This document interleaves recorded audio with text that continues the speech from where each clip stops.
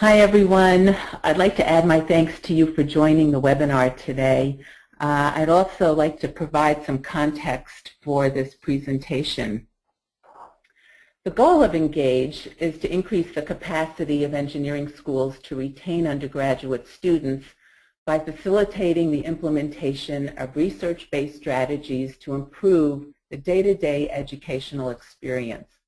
Our focus is on first and second year students because as you also probably know, these students are most likely to switch out of engineering.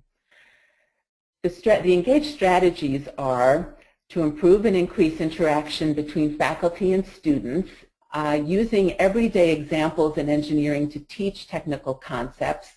And the topic of today's webinar, Strategy 3, improve spatial visualization skills of students with weaker skills. So we've selected these strategies because they improve student interest and engagement in engineering.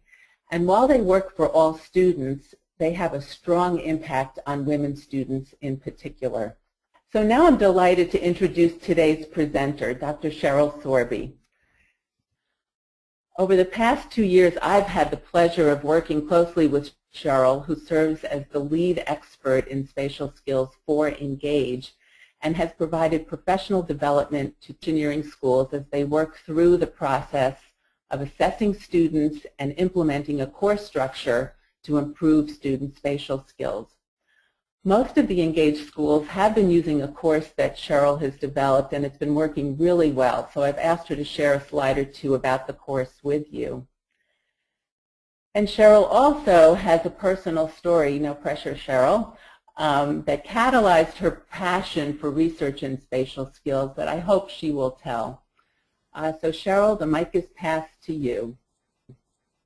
Good afternoon, everyone. Thanks for um, joining us. Uh, I started engineering school a while ago, and I had a math ACT of about 35 and a, and a verbal ACT of, of 33 or something, and I had no problems whatsoever with the engineering curriculum until I got to my first engineering graphics course. And because I had poorly developed spatial skills, I really struggled in that course. It was the first time in my life that I had ever struggled in an academic course, and so I became very discouraged and almost left engineering as a result. Eventually, I persisted, got through my engineering classes, uh, developed some of my spatial skills along the way, and I started teaching engineering graphics. And I noticed that a number of my students in particularly, it seemed like the young women were also having troubles with their visualization in, in the engineering graphics course. And due to my previous experience and my teaching interests I then started um, uh, a research program in helping students develop their spatial skills. Uh, we got a, a, grant from the National Science Foundation in 1992 to uh, launch this work, and I've been doing this ever since. A recent report just came out from the National Science Foundation, and the title of the report is called Preparing the Next Generation of Innovators. And in this report, they bring out that innovators typically have strong spatial skills as well as strong verbal and math skills. And they Throughout this report, they express the need to look merely beyond verbal and math skills when identifying STEM talent because spatial skills are so important to success. So as quickly as you can, this is the test we give during um, freshman orientation at Michigan Tech. I want you to look at this and tell me what um, the purpose of the test is you have an object on the top line here. This object has been rotated in space. You need to rotate this in space by the same amount and then choose what it would look like if it underwent the same rotation. And in this case, the answer to this is D. So at Michigan Tech, we test our students during freshman orientation, our engineering students that is, and approximately 10 to 15 percent of our students fail that Purdue test, the test that you took the uh, question from previously, during orientation. Approximately about 10% of the male students fail the test, but nearly one-third of the female students, and sometimes it's been as high as 40%. So you can see that um, this is a problem that really impacts women more than it does men. And from studies conducted by the Johnson O'Connor Research Foundation, they tested 64,000 professionals who were out there working in the field, and they found that the engineers here are, are at the left end here along with the architects right next to them. But the engineers and architects need to have the best or have the best developed spatial skills compared to all these other applications or occupations. And most of the things on the left end here are all within um, the STEM disciplines. The gender differences are robust and consistent. We've found this time and again. We like I said, at Michigan Tech, we test our engineering students every year during orientation. And you can see we have data going back to 1996. And the, the the other thing you need to know is that this dot here represents about 100 students and this dot here represents about 700 students. So this gender gap here between men and women is highly, highly statistically significant. Um, and you can see it goes along pretty much every year we have the same gap in spatial skills between um, men and women. So as I said, we got funding from the National Science Foundation in 1992 to, to develop a course. We got a second grant in 1998 to develop multimedia software and a workbook. We've been offering a spatial skills class at Michigan Tech since 1993 without fail. And from the period of 1993 to 2008, students who failed the Purdue test during orientation were encouraged, encouraged to enroll in the course, but they weren't um, required to. Uh, based on the data that we have, the engineering chairs at Michigan Tech uh, made a change starting in 2009 so that now all students who fail the Purdue test are required to enroll in the spatial skills course. And we define failure as scoring 60% or lower on the Purdue test. The course looks like this. We meet for one one and a half hour lab session each week. It's a one credit course. We start with a short mini lecture of 10 to 15 minutes. Uh, then they, the students will work through the software module for that day in teams of two typically, and they complete the workbook pages for the remainder of time. Um, uh, most of the time they do that as a kind of a team effort also, but not always this is what the um, software looks like. And I'm showing you this because you can see then the types of topics that we offer in the class. We do isometric drawings, orthographic drawings, we do rotations, and combining solids. And so this is pretty much the outline for the course. We do one of these modules each week. If we look at gains on this test, the Purdue test up here, the original course was when Michigan Tech was on quarters. This is from uh, 1993 to 1999. The modified course is when we were on semesters. And um, this data is actually just from 2000 to 2002. We see similar results nearly every year. Um, but you can see that the students started at about a 50% and they ended up in the mid-70s at the end of the spatial skills course. And what I'd like to point out about this is that this, these numbers here, this 70, middle 70% average, this is approximately what the average is for engineering students, um, for all engineering students when we test them during orientation. So we, we basically are taking students who are way behind in their spatial skills and bringing them up so that they're about average with their peers in the engineering courses. And you can see the significance of the gain, um, highly um, statistically significant through every year we get a statistically significant gain. We've done several longitudinal studies um, to look at the long-term uh, impact of this course. And the types of things we've looked at are grades and uh, retention rates. For students who failed the Purdue test and then went on to enroll in the spatial skills course, what we have found is that they earned better grades in a variety of courses listed here, calculus as well as pre-calculus, chemistry, computer science, engineering and graphics, physics, and that their overall GPA is higher when compared to students who failed the Purdue test but did not enroll in the course. So you can see um, from this data right here, these are the students who enrolled in the spatial skills course. These are the students who, again, failed the Purdue test but did not enroll in the spatial skills course. These are our students with weak spatial skills.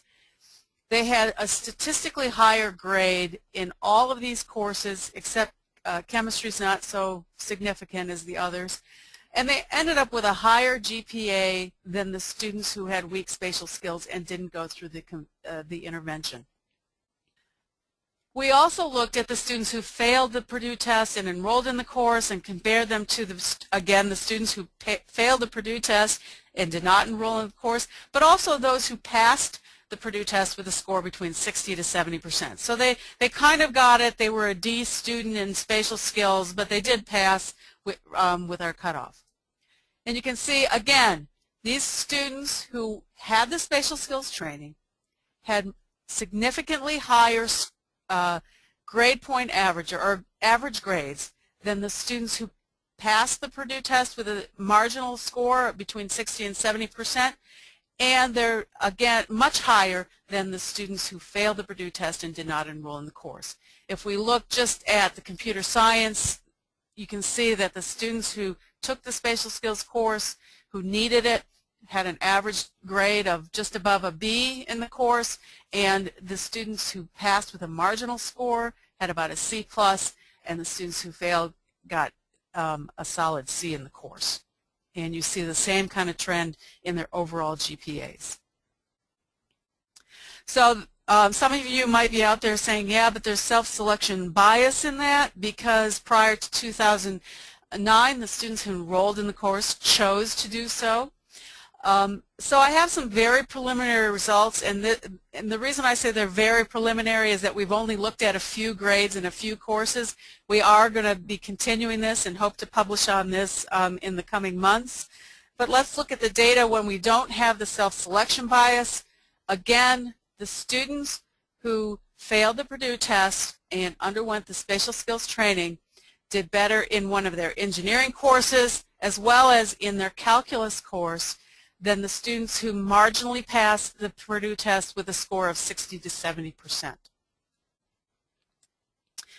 As I said earlier, we also looked at retention rates in our longitudinal studies.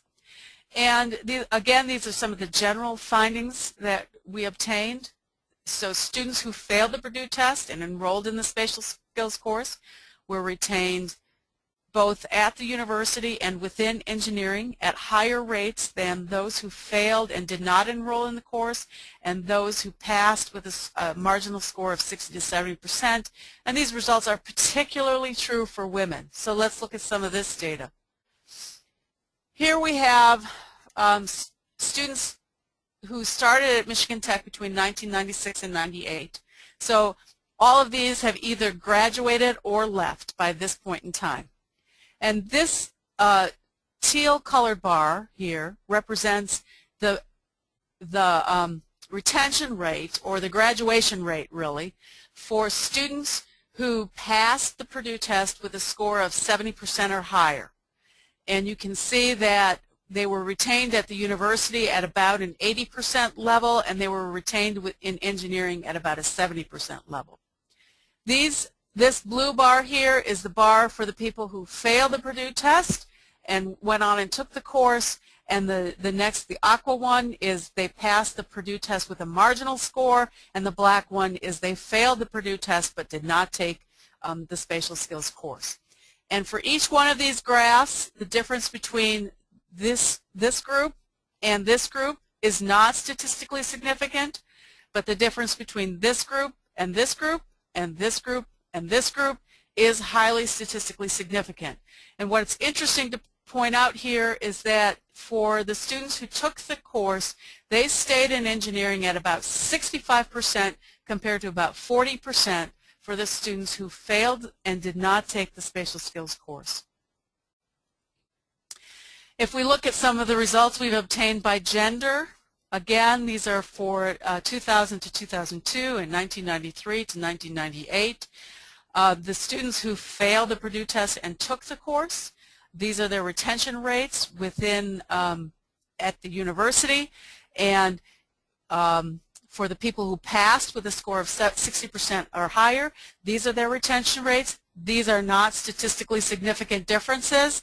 However, this, for the women who failed the Purdue test and did not take the course, uh, we do see a statistically significant difference between these students and these students. For the men, we see similar trends. However, none of these are statistically significant. However, they are encouraging that we are also um, we also appear to be retaining more men through this spatial skills intervention. So in conclusion, well-developed math and verbal skills are readily recognized as being necessary to success in engineering.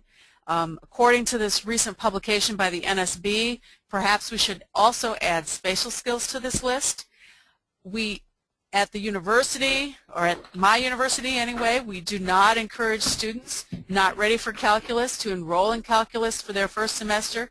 Shouldn't spatial skills training be available for those who need the help? And at Michigan Tech, we believe that we have helped students be more successful in engineering by offering them an opportunity to develop their spatial skills. So based on all this result, all these results, what can you do or what should you do? One of the things that you should think about doing is assessing the spatial skill level of your incoming engineering students. And through this assessment, you will identify those who have weak skills and target your efforts just at those students. What would I recommend that you don't do? I wouldn't provide spatial skills training to all of your students. Those who don't need it may be bored, and those who do need it may become even more discouraged um, if they're in the class and they see that something is super easy for somebody else in the class, they might start to have uh, feelings of self-doubt and their what's called their self-efficacy will be diminished. Self-efficacy being just your internal belief that, yes, I can do something. And I would not offer voluntary spatial skills help sessions because it has been shown time and again throughout educational research, not just me, but people in math and in chemistry and other places, that voluntary supplemental instruction never works. You only get a few people who attend regularly. And um, if you're going to do something, I, I would say you would want to do it in the most effective way. Formats that you might consider for helping students develop spatial skills, offer a course like we do at Michigan Tech, a course for credit though, um, you could have required supplemental instruction sessions or required tutoring sessions, similar to requiring tutors, tutoring sessions for students with weak math skills, if your university allows you to do that. Not all of them do. You could provide spatial skills training as part of a summer course or a summer bridge program. Uh, or you, one other thing is you could integrate spatial skills training into a required course, but I would only use that approach if most of your students have weak spatial skills and not only if a small percentage um, have the poor spatial skills. Because again, you don't want the students who have the weak spatial skills, which at Michigan Tech is about 10% of the student body, to feel even more discouraged by watching people um, have fun and doing things that um, is very easy to them. And here's my final reflection before we um, pause for some questions. Uh, and I hear this all the time, engineering faculty don't want to add one additional credit to an already full curriculum. So I'm leaving you with a question, which is better, um, asking students to take one extra credit that improves their chances of success in engineering by a significant margin, or is it better to ignore the problem and hope your students survive to graduation? And in the long run, which one is really more costly? If the, if the students leave your university and they're not spending those tuition dollars, um, that is a true cost to the university. Further, it's a cost to the individual because now um, they might be uh, studying, they might never finish college or they might be studying something um, that um, they're not as interested in. So I'm open for questions. This is Susan Metz again. Sheryl, thanks so much for the presentation. Uh, it's generated a number of questions, and I'm writing madly here trying to group them together so that we can answer as many uh, questions as we can. And so one of the areas has to do with uh, games. we have a couple of questions. Does experience playing spatially rich video games as children improve spatial skills? And have you or anyone thought about developing a game to enhance spatial skills at the secondary level um, by creating more rich gaming, educational games? Yeah, so um, when I first started doing this research in 1993, we found no um, significant correlation between playing computer games and spatial skills developments. Um, but now we are seeing that, and there are a number of people who have um, done actual research studies. Some cognitive psychologists have done research studies and shown that playing certain types of what they call action games will help you improve your spatial skills. I think in 1993 the, the games were not very um, spatially rich, and so th that's why we weren't seeing any correlation back then. Um, I have been talking to some, some folks about developing a spatial skills game. This is all in the very early stages of discussion. I know there is interest in it. Uh, so yes, computer games, 3D computer games that are active will help you develop your spatial skills. And um, my thing is this, is that I doubt if parents would approve of their um, children coming home from middle school or high school saying, yeah, we played Tetris for an hour today because my teacher said it would help improve my spatial skills, whereas like we use a software and a workbook um, and that that is much more palatable, I think, to most uh, parents in, in how you develop spatial skills.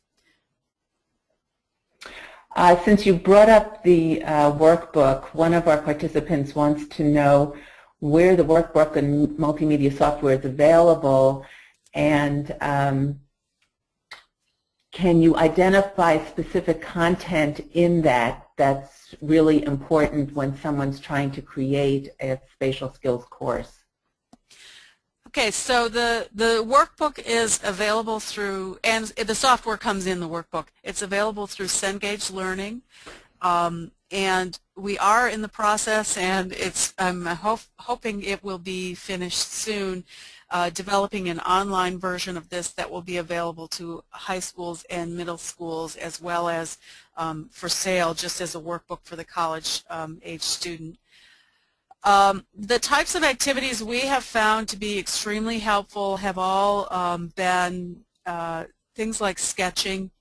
Um, so what we do is we have in, in the exercises we do, we have the students build an object using um, blocks and we have them then sketch it. What would it look like from this point of view? What does it look like from this point of view? And so on. And then we have the students take an object and the, they're holding it in their hand as well as seeing it as on the paper and they rotate it in space and then they have to sketch it. What does it look like after it's been rotated? So the sketching is really important and this is backed up by a number of research studies conducted by myself and by others that uh, really the sketching is an important part of helping develop your spatial skills. There's something about the eye-to-hand coordination between seeing something and sketching it on a piece of paper that helps you develop your spatial skills. So those are the types of activities that I would um, encourage you to incorporate in your teaching. Sheryl, two questions related to pre-college work. Uh, one of our participants is using some of your materials at the elementary school level and wants to know if others are doing it. And also, is a high school curriculum available for spatial skills or can you use the one that you've developed for that group? Okay, so uh, in 2004 I, I got a grant from the National Science Foundation and um, the purpose of that grant was to demonstrate that the materials that we have, the workbook and the software, is suitable for use with um, middle school students, high school students, and other non-engineering majors because a lot of times I would talk to um, teachers and they'd be interested in using the materials and they would say things to me like, um, well, but you developed this for for freshman engineering students, it's not going to work for my students. Um, and so we demonstrated that the materials work very well with the younger audiences. I'm glad to hear somebody's doing something at the elementary school. Please send me an email with your results. I'd love to hear about it. Um, and uh, we just now um, are in the process. Our grant has been recommended. I don't think it's been awarded yet, but we are getting uh, it looks like we are getting another award from the National Science Foundation.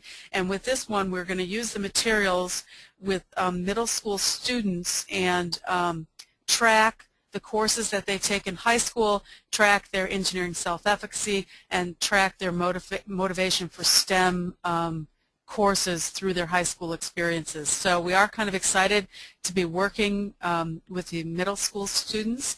Uh, what I've said many times is that I hope that eventually the need for my spatial skills course goes away because I think it would be a much better um, world if the students all came to the university with well-developed spatial skills. If they learned this in their middle school, high school, or even elementary school, I think that would be far better than, um, than what is going on right now.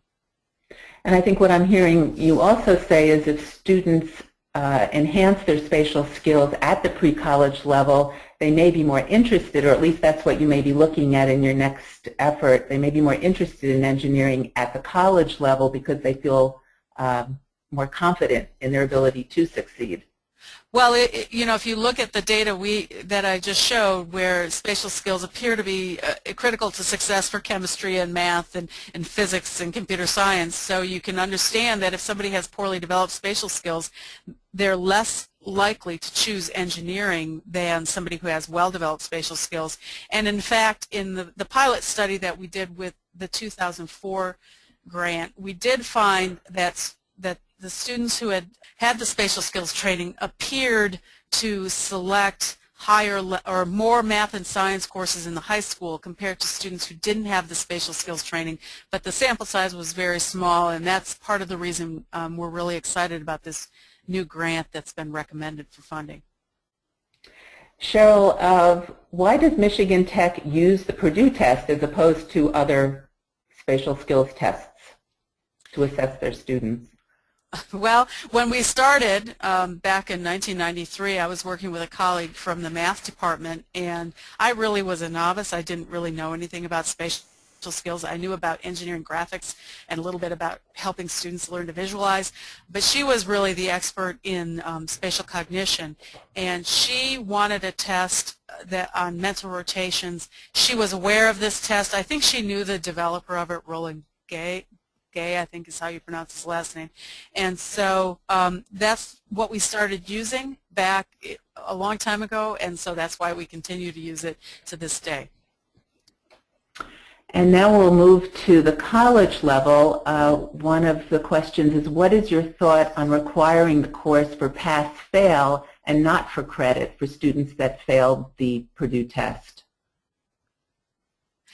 I guess the question would be, um, at your institution, when people take things for pass-fail, do they take it seriously? So the rule of thumb is always that if it appears on your transcript, um, then students will care about it. And so if, if having a pass-fail course that you fail doesn't look good on your transcript, or if that's the culture at your place, then that could work. Um, in general, I would say, uh, you know, when I have as a faculty member, when I used to have students try to take uh, my my other courses, not this spatial skills course, but my other courses, pass fail. In general, they would quit halfway through and they would never finish the course, and that was okay because it didn't appear on their transcript. And so, again, um, those are the kinds of things you have to, you don't want to waste your effort. So you don't want to have a course that nobody comes to and um, nobody finishes. So that that's my caution in having a pass-fail course. But again, it would end on it would depend somewhat on your institutional culture. Uh, this is an interesting one. What is the average makeup of the course at Michigan Tech as far as women versus men? And if it is mainly uh, women, does this make them feel discouraged from engineering in general? Well, I think the the um, the students have voted with their feet, right? So I, I think that having the women in there showed we had, you know, remarkable increases in retention. So I don't think it discourages them from engineering in the least. I think, in fact, it has the opposite effect. Uh, the class is typically about half and half. Um, uh, maybe a, a, few more. You know, at Michigan Tech, like most engineering schools, we have like 16, 17, 18% women. Um, but if you take one-third of those versus 10% of the men, we end up with a mix of about 50-50, maybe 60-40 favoring, uh, or 60-40 with the 60% being the male students. In the past, I know I have had many classes that are 50-50, and sometimes students will comment on it. They, they don't, I don't ever in my class talk about gender differences in spatial skills. I you know, that's going on in the background. They don't need to know that. But I have had students walk in, uh, like some male students walk in and say, wow, look at all the girls in this class. Um, but I, we, don't, we don't ever talk about any of the gender findings in the class at all. So this person has actually offered a class, a spatial skills class, to students who did not do well on the Purdue uh, test, but they got a very low percentage of students who enrolled. Any suggestions for increasing that enrollment for students who should be there? uh, well, well, when when we first started out, we had a we didn't have very many students enrolling either. You know, the first um, in 19 the first year was part of the grant, and the the second year was we were on our own. I think we only had 18 students uh, enroll out of about 125 who failed the Purdue test, and so uh, what we've done over the years is um, have a much more active approach to recruiting students. So um, instead of just passively saying, hey, you know, you failed the test, you should consider taking this course, we actually went to them, we showed them some of the data, we showed them how this could improve their grades, and we, you know, kind of, it wasn't strong-arming, but we highly, we strongly encouraged them to have, um, to enroll. We also worked in the early days somewhat with some of the academic advisors where we would go to them and we would say, you know, look, we think that you should um, encourage your student to do this. The problem in the early days for us, too, is that we didn't have any data. So we didn't have the data that shows it helps students be retained and it helps them get better grades. I mean, I think what you could do is use some of the data that we've compiled here at Michigan Tech and you make a convincing case for students or you know contact parents because parents are always concerned about their or about their child's success. And so uh, send something to them to get the parents on board encouraging. I know there's one university um, in the Engage project right now that um, had an interesting approach to this and I wish I would have thought of it 20 years ago. But um, what they did is they took all the students who failed the Purdue test and automatically enrolled them in their spatial skills course and then let them drop if they wanted to. Um, and that way they had um, a, a, remarkable increase in participation among the students enrolling in the course. So one of our participants wants to know if uh, students could do the workbook and uh, software as a self-study project on their own. And where do they find the spatial tests to assess students? Okay, well the spatial test is in the teacher resource guide that goes along with the workbook. I believe also that the folks at Purdue have put it online and I think that you can get access to the online version of the Purdue test um, I know Susan has the Susan Metz has the information on that. Uh, yes, I think a student can work through the workbook as a self uh, self-paced study. Excuse me. Um, they, you know, I I have had undergraduates teach this course. I have grad I've had graduate students students teach this course. Um, it's it's I keep telling people it's not rocket science. It's actually pretty simple when you get right down to it. Uh, and I think that a, motivated student could complete this as a as a um, self-study. Yes. And one of our participants actually teaches a Women in Engineering seminar and has many topics to cover. And she wants to know uh, what is the minimum amount of time you can spend on the spatial skills curricula and still get the results that you're looking at? How many hours uh, do you need to set aside for this? Okay, so I don't know the answer to how many, what's the minimum number of result uh, hours to get the results I've gotten because I've never tried to minimize the number of hours. However, I did work with a high school um, geometry teacher um, in my previous study that was funded in 2004 and that teacher uh, only covered four of the nine modules. She covered the isometric drawing, the orthographic drawing, and the two on rotations. And she did get very significant increases in spatial skills. Um, but again, I don't know if um, what what the long-term impact of all that is. I'm not going to speculate on that. That would be unscientific of me. But I do know that she did get um, nearly the same gains on some spatial skill assessment just by doing those four modules. Okay, the clock is telling me to uh, wrap up. We have a few more things we wanted to point out in terms of people who want to implement this. Uh, so any of the questions we didn't get to will be answered uh, offline. Sheryl, thanks so much again for uh, presenta your presentation and the responses to these questions. There's a lot of interest out there, which is really exciting. Thank you, Susan. Engage has a website. This is actually a snapshot of the spatial skills page on the Engage website. You get to it by going to the home page and just clicking on strategies. We have a number of resources available for schools who are working to assess students' skills and then provide the training course. And these folks have really found some of these resources very useful. Uh, if you're interested in learning more about Engage or the materials, here's the contact information.